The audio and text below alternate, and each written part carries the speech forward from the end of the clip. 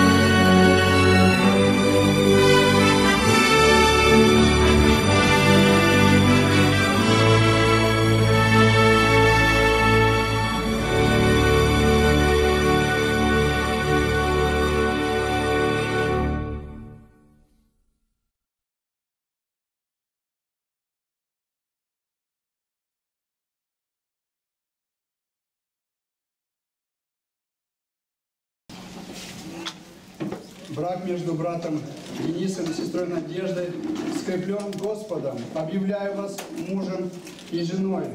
Аминь. Опустеется,